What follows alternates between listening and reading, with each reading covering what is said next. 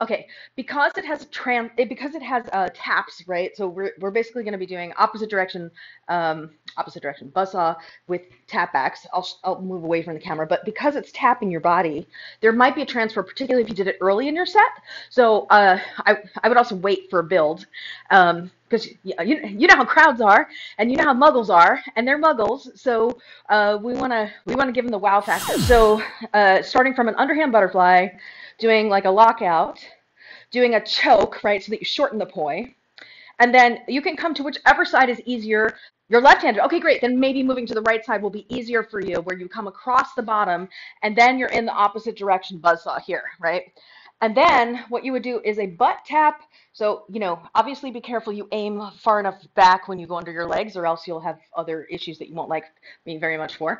Um, and then this, this should be in same time at this point to do both of them because you're going to tap on the back and then the butt and then come into the opposite direction and then back and butt and opposite direction. So you do it an even number of times starting from where you started from. You can exit back out just continuing what you did with the left hand. The way I'm doing the choke, if you're struggling at all with the choke, is I'm sticking my fingers out. You could do any number of fingers. So however many fingers you need. We we choke it to the appropriate length. And then, so as a left-handed person, turning to the right, I think makes sense. So you just keep the right one there. The left one comes across the bottom and then to the inside plane. So if you saw it side view, it's like this, across the bottom to the inside plane like that. And then I'm in same time.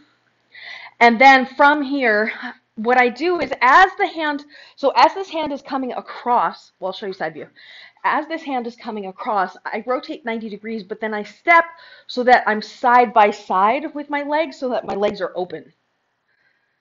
And then that way you, you're doing it all in one motion. Right, so in theory you'd be like this in the V stance here, right? So both feet would be facing this way. And then as you come across, you plant on your right leg,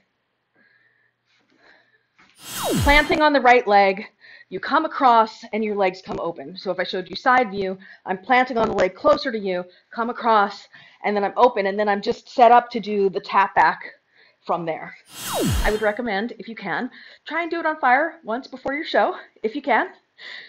It might make you feel better, but uh, if you have your hoodie up, if you have your hoodie up, I don't really think there's any danger. So let's do the left hand, which is starting in underhand, short poi, inside plane, right? So we're going to go back and then butt and then back, circle, butt, circle. So it's buzzsaw to the back, buzzsaw to the butt, buzzsaw to the back, buzzsaw to the butt, buzzsaw to the back. And you have to remember you can't really reach down or you can't really like lean down like this because you still have the other hand going. So maybe a squat is better because the because the other hand is going to be going up, right? So a squat will allow you to reach both places at the same time.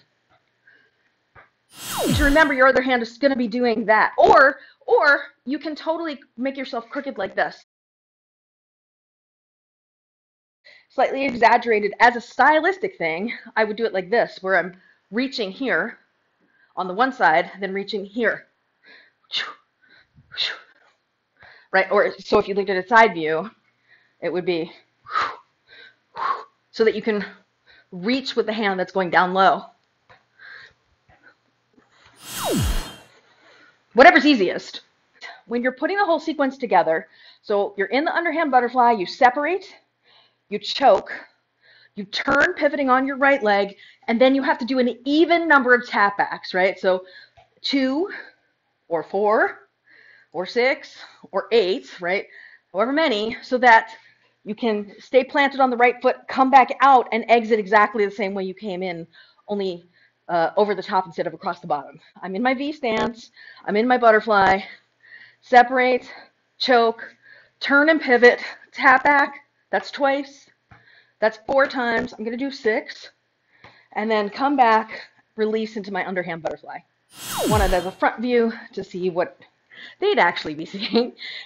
Wrap, turn, one, two, three, four, five, six, turn, and, and I actually released as I was coming out of it.